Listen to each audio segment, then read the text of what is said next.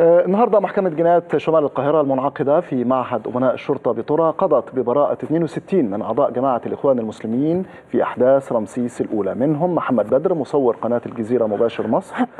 والنيابة كانت وجهت للمتهمين ال 62 تهم ارتكاب أعمال عنف وشغب آه، جرت على نطاق واسع في ميدان رمسيس في منتصف شهر يوليو الماضي بعد محاولة اقتحام قسم شرطة الإزبكية واستهداف الضباط وأفراد الشرطة بأسلحة نارية وخرطوش وكمان قطع الطريق أعلى كوبري السادس من أكتوبر. عشان نعرف تفاصيل أكثر تعالوا نتابع تقرير زميلنا محمد بهاء. لجميع متهمي الإخوان كان حكم محكمة جنايات شمال القاهرة برئاسة المستشار محمد صادق بالقضية التي عرفت إعلاميا بأحداث رمسيس الأولى 62 ممن وصفوا بأنصار الرئيس المعزول جميعهم برئوا من تهم أعمال العنف وإثارة الشغب والشروع بالقتل. المحكمة استندت لبراءة الجميع لأنه الاسطوانات اللي كانت مقدمة كدليل ضد المتهمين ما كانش فيها أي دليل وكان فيها آه، صور مشوهة وكان فيها تصوير من أماكن مش واضح إنه المكان ده رمسيس أصلا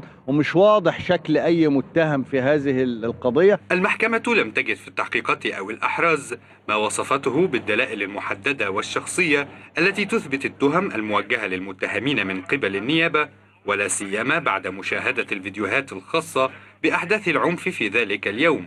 والتي لم تظهر أي تفاصيل تناقض شديد بين التحريات بتاعة البحث الجنائي وتحريات آه، أمن الدولة. إن مفيش أي صور ظاهرة للمتهمين أثناء التصوير. وقائع القضية ترجع إلى الخامس عشر من يوليو العام الماضي بعد خروج مظاهرات إخوانية عنيفة رافضة لعزل مرسي بمنطقة رمسيس. ووفقا لوكالة أنباء رويتر فإن نيابة شمال القاهرة تدرس قرار الطعن على حكم البراءة أمام محكمة النقد. محمد بهاء الدين الحياة اليوم.